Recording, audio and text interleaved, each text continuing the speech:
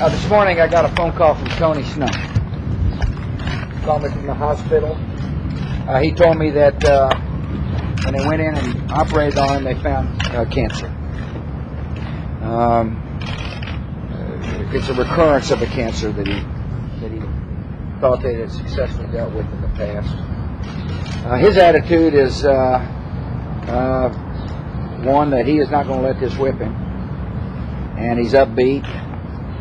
Um, my attitude is is that we need to pray for him and for uh, his family. Uh, obviously, a lot of folks here in the White House are, you know, worry a lot about uh, their friend, as do, Laura and I.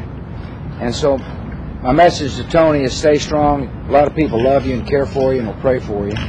And um, uh, we're hoping for all the best. I, I'm looking forward to the day that he comes back to the White House and uh, briefs the, the press corps on, uh, on the decisions uh, that I'm making and why I'm making them. In the meantime, I hope our fellow citizens offer a prayer to he and his family. Thank you.